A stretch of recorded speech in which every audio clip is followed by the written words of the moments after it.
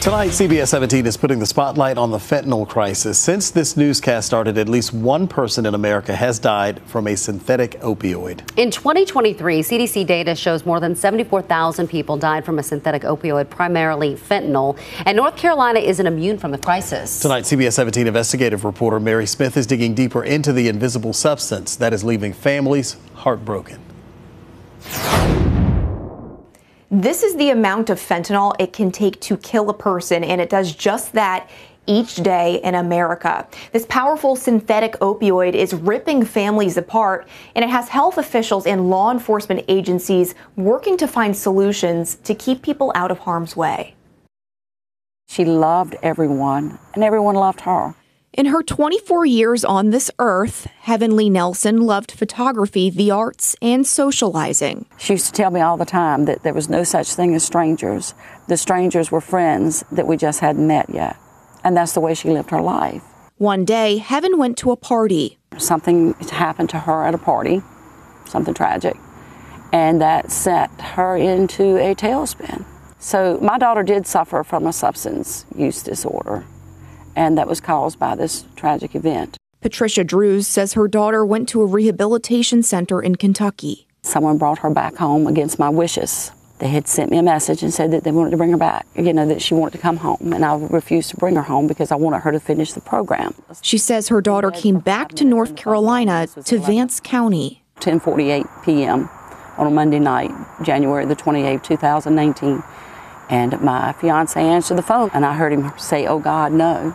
Heaven passed away, and months later, Drews says she learned fentanyl took her daughter's life. What did you know about fentanyl prior to your daughter's passing? Absolutely nothing. No one was talking about illicit fentanyl in 2019. I, I had no clue. A silent, unsuspecting killer. Just the tiniest bit of it, two milligrams, is enough to kill the average person. It's not just those that have a substance use disorder dying in this country. Everyone's children are dying. You know, we have infants, we have toddlers, we have teenagers, young adults, those with substance use disorder, and those without dying. You know, it affects everyone. According to data from the North Carolina Department of Health and Human Services, in 2012, 140 people died from fentanyl.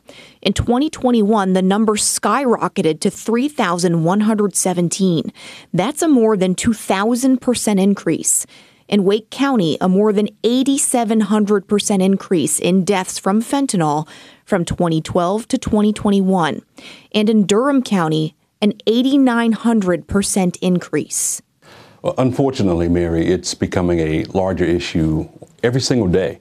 And that's not an over exaggeration. Um, for an example, last year, uh, my deputy seized approximately 3.7, little less than 4 grams of fentanyl. Earlier this year, we have seized over 300 grams of fentanyl.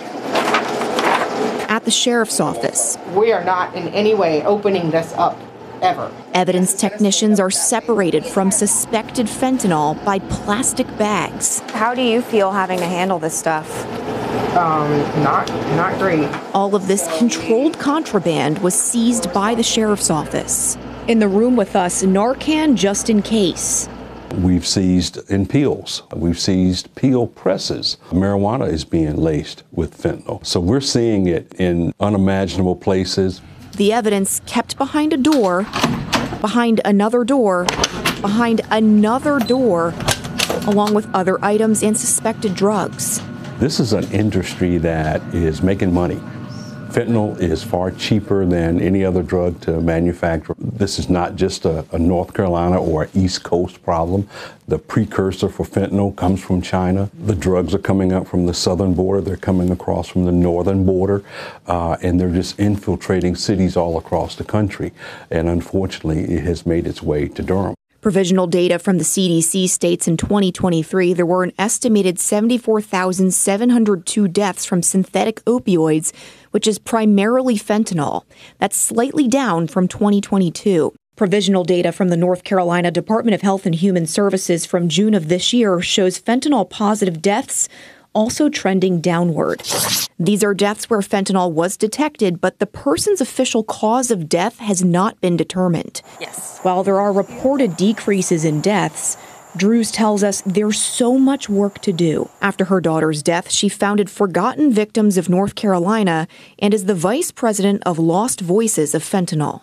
We are the largest fentanyl advocacy group in the country. We host a national event. I know that she did love me very much. Sometimes attending these advocacy events by her side, her daughter's son. He will be my only grandchild. And that's what I call him. He's my gift from God in heaven.